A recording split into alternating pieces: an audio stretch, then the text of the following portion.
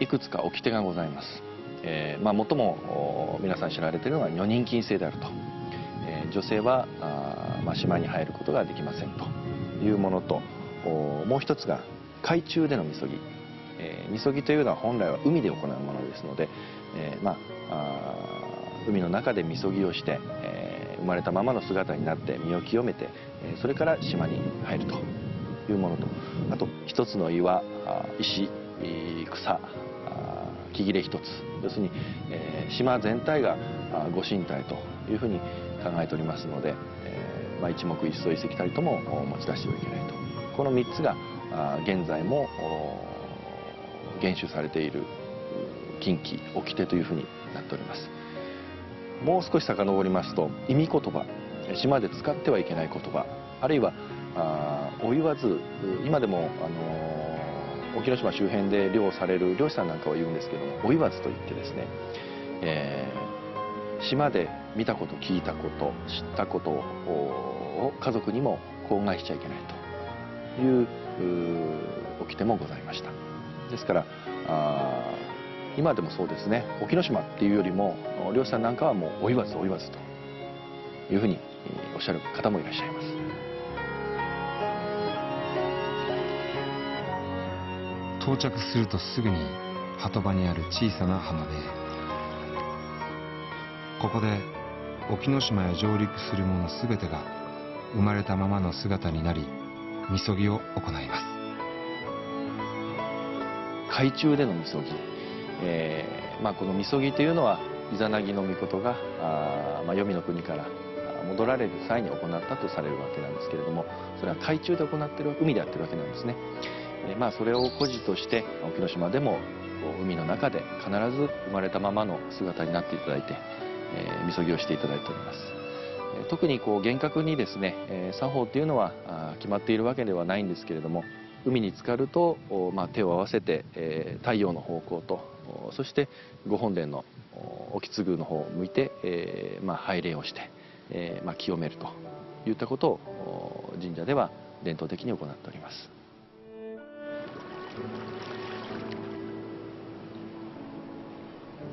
我々もこちらでみそぎをしました。早速沖津宮へ参りましょう。みそぎを行った者だけがくぐることを許される。一の鳥。石造りの堂々たる構えです。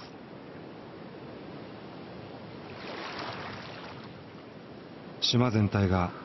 宗像大社のご神体。古来敬われ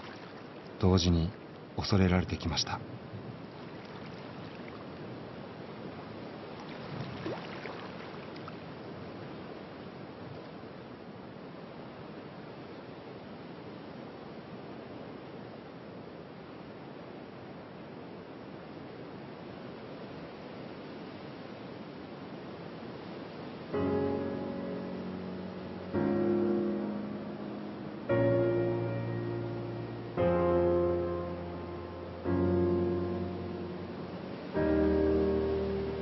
大自然に生かされていることを実感します。鳥居をくぐり島の中腹にある沖津宮まで400段の階段を上ります。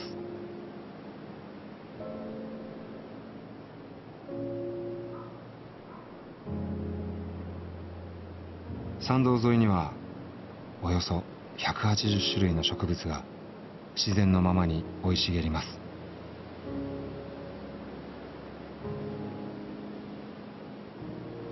国の史跡天然記念物にも指定され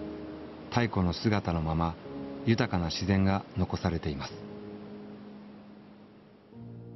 植物に関してはですね、えー、特に亜熱帯性植物がの北限というふうに言われております、えー、ビロウですとかタブノキだとかですねそういった南洋の、まあ、植物があるいは木とかですねそういうのが生えております。国の史跡であると同時に、えー、天然記念物にも沖ノ島の原生林というところが指定を受けています。普段はたった一人の神職だけが見守る島。鎮守の森は静まり返っています。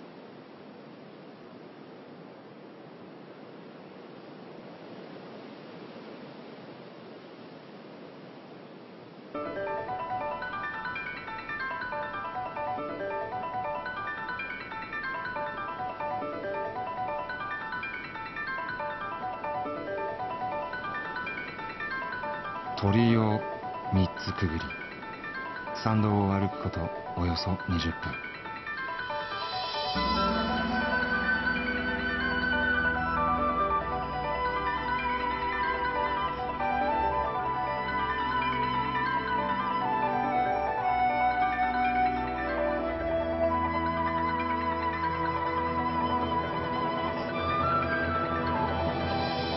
沖ノ島の中腹。壁のように立ちふさがる巨石に隠れるようにひっそりとお宮は鎮座していました。宗像大社興次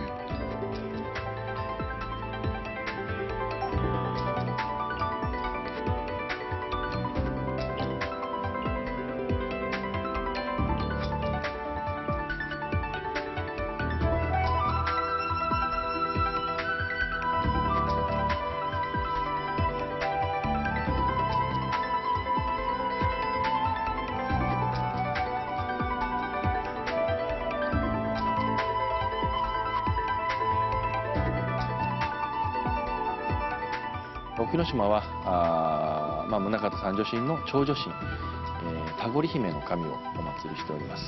えー島全体があもうご神体とご神体島ということになっておりますので、えー本来あの社殿は必要ないわけなんですけれどもやはり23箇所祭祀の行われた跡が発見されておりますので、えーそこの一番こう平らな部分にえー江戸時代だと思います、えー社殿が設けられて、えーそれ以降、まあ、修繕を繰り返しながら今日に至っております。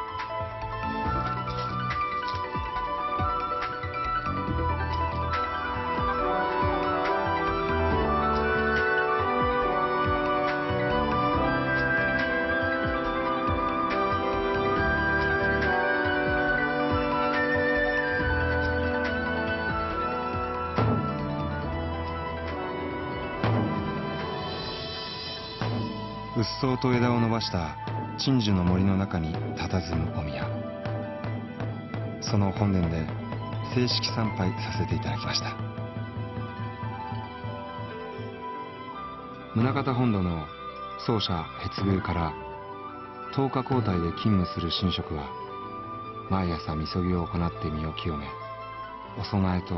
玉串を持って沖継へ参拝します。日食祭を行って国家の安泰を祈願しています。1700年以上にわたり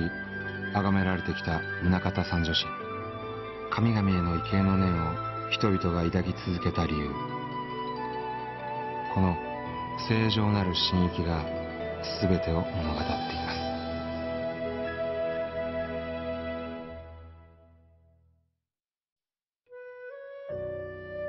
神社百景グレース・オブ・ジャパン。福岡県宗像市。玄界灘に浮かぶ絶海の孤島。沖ノ島に鎮座する宗像大社沖継古から朝廷や外国に渡る人々が国家の繁栄と海上交通の安全を祈るために沖継宮に参拝し最高級最先端の品を神前に捧げました。その供え物こそが沖ノ島が海の正倉院と称されるゆえんとなった。8万点に上る神宝です。まあ、沖ノ島の神宝を最も代表するものに金の指輪がございます、えーこちらは、えー内径が1 8センチと言いますので、えーまあ男性ですとちょっと入らないくらい。ですからあまあやはり女神に捧げられたものかなというふうに思います。そんな貴重な神宝